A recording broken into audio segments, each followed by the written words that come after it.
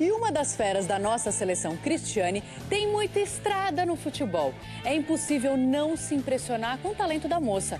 Ela começou a Copa do Mundo com o pé lá embaixo. Uma legítima artilheira que também tem muito a ver com um volante, como o Band Esporte Clube mostrou no final de 2007. Seu Euclides é caminhoneiro há 30 anos.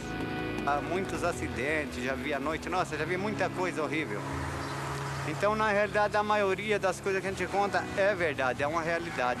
Mas às vezes é mentira, né, seu Euclides? Ah, a gente viajava de caminhão para Campinas, aí você passava entre aqueles fios de alta tensão, né, torre alta, e tinha aquelas bolas de separação que eu achei que não dar curto, para não dar curto. Aí eu mentia para eles falar que tinha um campo perto, que o cara estou com tanta força que enroscava as bolas. E ela acreditava. A criança era bobinha, né? Acreditava, né? Ele troca de lugar com a filha.